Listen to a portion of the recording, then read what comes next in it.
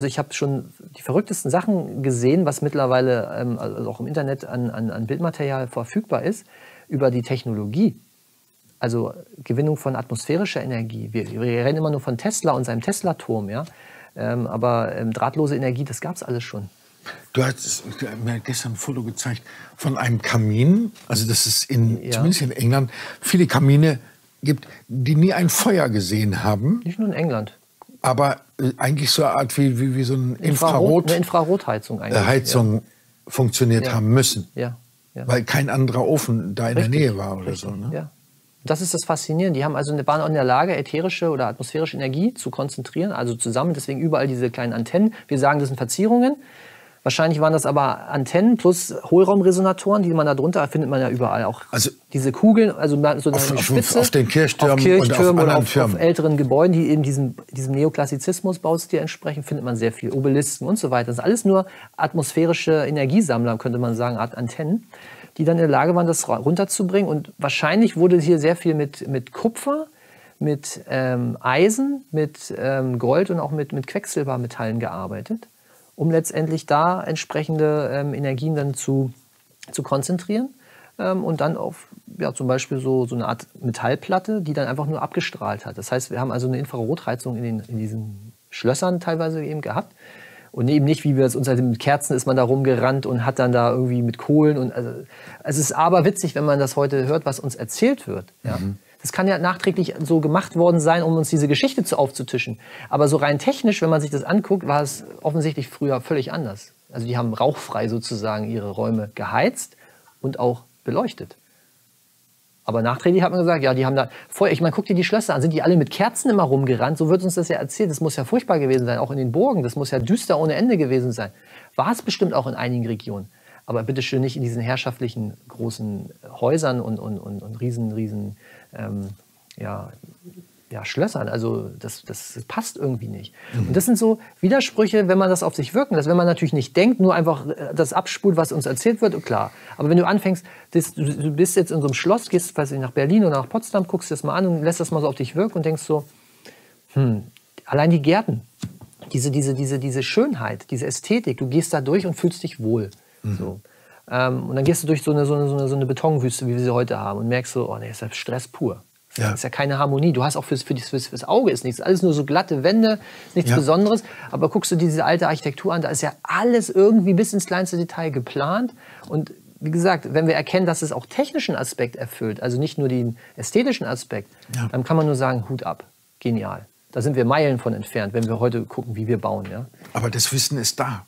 Das Wissen ist da. Das Wissen ist da. Aber es ist noch nicht in genügend Köpfen wieder drin. Ja, oder wir haben gesagt, unsere Antennen, ne? dass ja. wir unsere Antennen wieder freischalten dafür, also das, war, das Wissen anzuzapfen. Genau. Ja, also gut, mittlerweile gibt es Ausdrücke wie die Akasha-Chronik oder das Morphische Feld, wie auch immer. Mhm. Egal.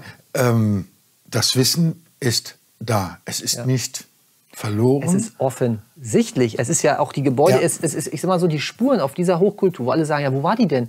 Du stehst mittendrin. Ja. stehen mittendrin? Du musst nur mal das Dia, was in deinem Kopf, was die, die, diese Wahrnehmung verzerrt, das musst du austauschen. Und dann ja. gehst du durch die Stadt und siehst plötzlich diesen tatarischen Baustil. Ich sage es einfach mal so. Mhm. Aber die hat man gesagt, das ist Neoklassizismus oder, oder was auch immer. Ja, oder Neugründerzeit. Ja, oder Gründerzeit. Nein, geh doch mal zu, so weit, dass du sagst, das war ist vielleicht 300 Jahre altes Gebäude. Mhm. Und das ist aus einem bestimmten Material geschaffen, dass je älter das Gebäude ist, desto stärker und härter wird das Ganze. Ist also witterungsbeständig, wenn man so möchte. Ähm, wenn ich dann mit diesem Dia durch die Welt gehe, ich sehe es doch, ich, es ist da. Ja, es sind nicht nur die Pyramiden, sondern es gibt ja. so viele Hinweise überall. Also wirklich diese Megalithkultur, die wir haben, die im Hordenreich existent war, die hatten natürlich auch das Wissen, solche Gebäude zu bauen, die alten Meister. Das war auch ein bestimmtes Wissen, das auch nur bestimmte Kreise hatten, ja, aus denen sich vielleicht auch später die Freimaurer ähm, abgespalten haben als, als, als Kaste oder als, als, ja, als Bauhüttentradition. Aber, Aber, genau das, äh, Reik, ganz zum Schluss, das hat mich immer, ähm, also auch bei dieser Argumentation, äh, guck dir diese Gebäude an und dann guck dir äh, davor die Leute in ihren Pferdekarren ja. an. Ja, ja ähm, aber es können doch sozusagen nur eine gewisse Kaste gewesen sein, die, die über dieses Wissen verfügten, mhm. während der Großteil der Bevölkerung im Tal der Ahnungslosen lebte. Also das, da da ist bei mir noch ein, ein großes Fragezeichen. Also was ich bis jetzt schon rausgefunden habe, ist, die vorherige Generation hatte auch gewisse Stände oder Kasten, ja, das ja. gab es schon, ja, natürlich wie auch heute. Es gibt, sagen wir mal, Forscher, Wissenschaftler, es gibt die Armee, das waren sozusagen die, die, die Kosaken, das war die Armee des Hordenreiches. Ähm, dann gab es natürlich auch die Händler, die Bauern. Also das ist wie, eigentlich wie heute auch nicht anders. Ja? ja. Und natürlich hat jede Kaste ein Spezialwissen. Ja? Ein, ein, ein Krieger, der ist anders ausgebildet als ein Baumeister oder ja, als ein klar. Händler oder als, ein, als jemand, der die Finanzen verwaltet für das Reich. Und ähm, natürlich gibt es aber sicherlich auch Überschneidungen. Also ein grundsätzliches Wissen. Ich meine, wenn allen atmosphärische freie Energie zur Verfügung steht, für Transportprozesse, für das Heizen der Gebäude, das ist so ein allgemeines Wissen. Ja. So, das war verfügbar, ist heute nicht. Ja, heute reden wir über Windkraft und so ein Quatsch. Ja? Wenn wir überlegen, was wir schon hatten und was. Das Verrückte ist ja, diese Gebäude, zum Teil funktionieren die technisch auch wahrscheinlich noch. Also diese Anlagen sind ja noch da. Ja? Manche sind zerstört worden, aber manche Sachen funktionieren offensichtlich auch noch. Nur wir nutzen es nicht. Mhm. Ja? Weil im Kopf immer ist, Energie kriegen wir von den, von den Stadtwerken oder vom Gaswerk oder vom Elektrizitätswerk und dafür müssen wir so viel bezahlen, nächstes Jahr ist es wieder teurer und, so, naja, und so weiter. Das kennen wir, daran haben wir uns gewöhnt, das ist Teil unserer, unseres Glaubenssystems. Ja. Aber wenn wir den Kopf wieder, sind wir beim, beim Outside the Box denken, wenn wir den frei machen und anfangen ähm, zu sagen, okay, was bedeutet das? Und mit was für einfachen physikalischen Mechanismen man freie Energie bekommt. Man denkt immer, oh, freie Energie, das ist ja ganz huhuhu. Es geht offensichtlich viel, viel einfacher, als wir uns vorstellen können. Und das ist das, das Interessante, es ist offensichtlich. Die Funktionsprinzipien, es gibt ja unzählige Menschen, die auch mal sowas erfunden haben hier und da, irgendwie, weil sie ein bisschen mhm. Tüftler sind. Die sind ganz schnell auf diese einfachen Wirkprinzipien wieder gestoßen, haben das umgesetzt, gedacht, Donnerwetter, funktioniert. Ja. ja? Ähm, konnten dann natürlich kein Business daraus machen, weil sobald sie ein Patent anmelden, fällt der, fällt der Hammer, ist vorbei. Das wird ja nicht geduldet. Aber ich will damit nur sagen, wir sind eigentlich nur so kurz davor, wenn wir wieder aufwachen, wir können da ganz schnell wieder anknüpfen. Mhm. Warum? Weil, das, weil wir es in uns tragen. Wir sind nur jetzt seit 200 Jahren, sag ich mal, auf einen, auf auf Irr Irrweg geleitet worden. Und das Interessante ist, solange wir von außen manipuliert werden und immer einen Druck erleben von außen, bleiben wir auf dem Irrweg. Nimmt man den Druck weg, werden wir ganz automatisch wieder dahin kommen.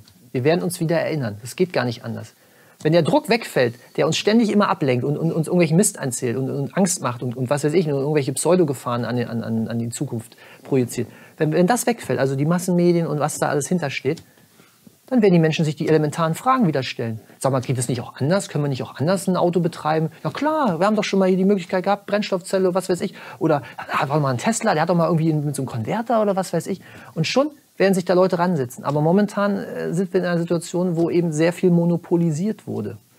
Und auch das Wissen auch wurde nicht monopolisiert. wird, äh, ja. den einen oder anderen von dieser Erde halt mhm. zu beseitigen, der sich auf diesen Weg macht oder ihn publik macht. Mhm. Ähm, Gran, also sollte man einfach mal auch googeln, Gran äh, Tataria oder Groß-Tatarien.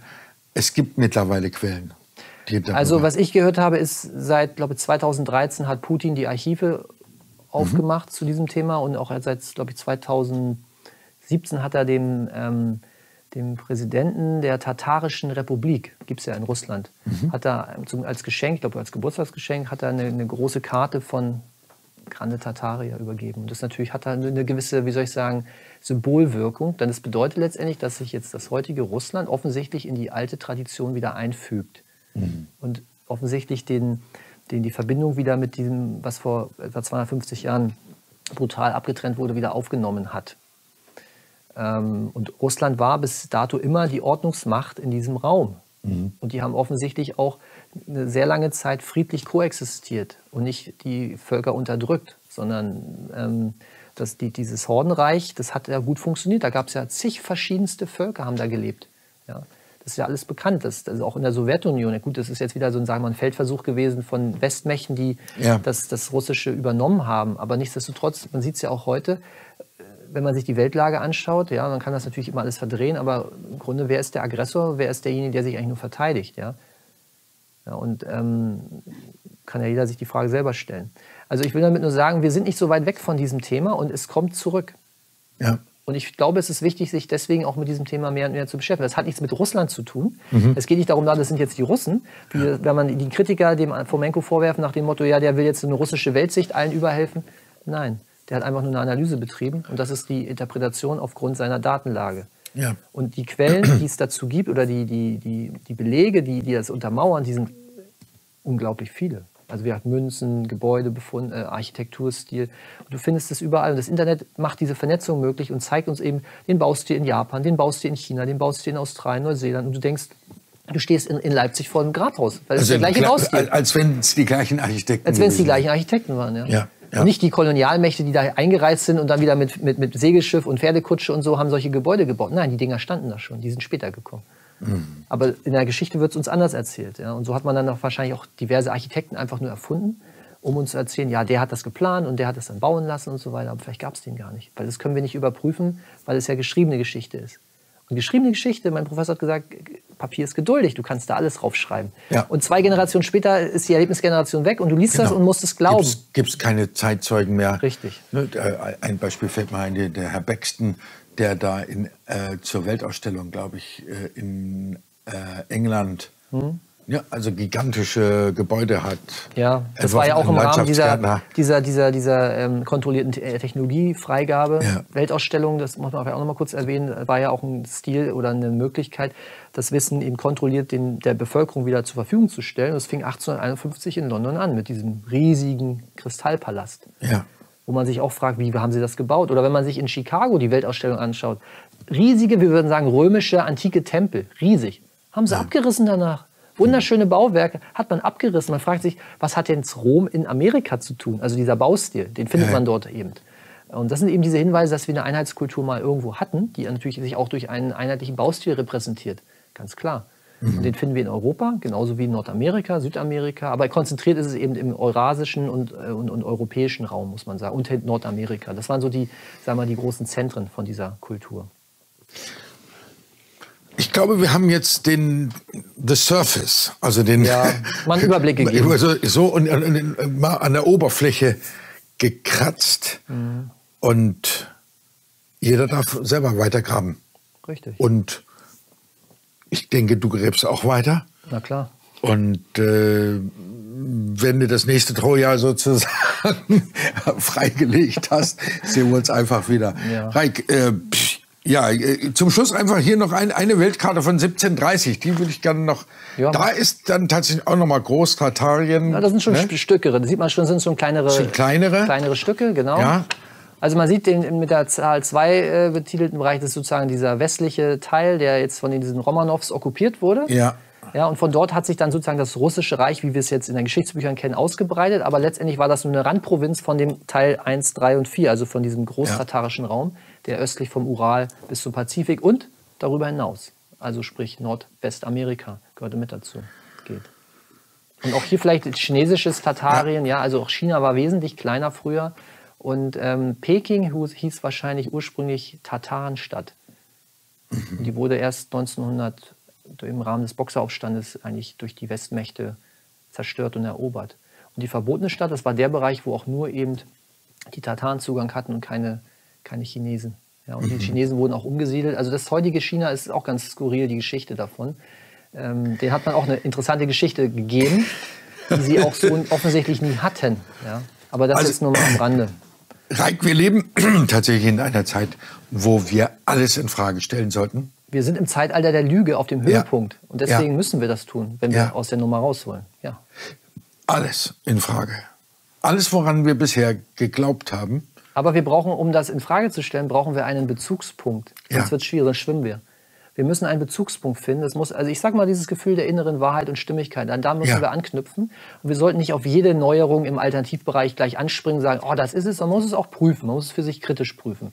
Mache ich ja auch so. Ja? Ich kann auch mit vielen Entwicklungen oder, oder Behauptungen, die man so, kann ich auch nicht immer gleich was anfangen, weil ich es noch nicht in mein System integrieren kann, weil da fehlen für offensichtlich nur entweder ist es totaler Quatsch oder es fehlen für mich noch so gewisse Zwischenschritte wo ich sagen kann, jetzt kann ich es annehmen, jetzt kann ich es nachvollziehen für mich. Ja? Das ist jetzt sozusagen da draußen. Ich, mhm. ich gehe mal auf die Jetzt-Situation ähm, der satanischen Umkehr. Ne? Abstand ist die neue Nähe. ja. äh, jeder, der sich mit Gesundheit beschäftigt, weiß, wie wundervoll äh, gesundheitsfördernd eine Umarmung ist. Eine wortlose, stille Umarmung innig. Und die wird uns als verbrecherisch, gefährlich. Äh, Lebens, lebensgefährlich. Ne? Lebensgefährlich. Ja. Und da sage ich mal, äh, dass wir uns auf unser Gefühl, was ist menschlich, ja. was tut mir wirklich gut und was ist unmenschlich. Allein an dieser Frage, ja. ist das menschlich oder unmenschlich, was da gemacht Wenn ich also separiert werde, ist das unmenschlich, weil wir Menschen Gemeinschaftswesen sind. Richtig. Ja, und, und, und. Ähm, also als Navigator, ja, das Gefühl, du hast es vorhin, den gesunden Menschenverstand, die Österreicher sagen Hausverstand oder so, mhm. da kommt das Gefühl ja ne, mit rein, Stimmigkeit ja. oder Unstimmigkeit. Und wir erleben eine, eine, eine Unstimmigkeit, äh, die ins, sag ich mal, Uferlose gerade. Ja. Er schreit zum Himmel, kann man Die schreit zum er schreit Himmel. Zum Himmel ja um uns in die Stimmigkeit zu bringen. Oder in das Gefühl von Stimmigkeit zu bringen. Also eigentlich leben wir in der spannendsten Zeit äh, der Weltgeschichte. Vielen, vielen Dank. Reik Gabe. Äh, ich sage immer, wir könnten hier stundenlang, äh, aber das ist auch eine Überforderung. Äh, mhm. Also ich, und na, ihr könnt es ja dann äh, noch mal zurückspulen, ne? Aber ich sitze hier oder Heiligsblechle. Mhm selber auf den Weg machen, ausgraben. Ja. ja. Es gibt viel zu entdecken. Vielen, vielen Dank, Rai Gave. Und Gerne. es war nicht das letzte Mal, mit Sicherheit nicht.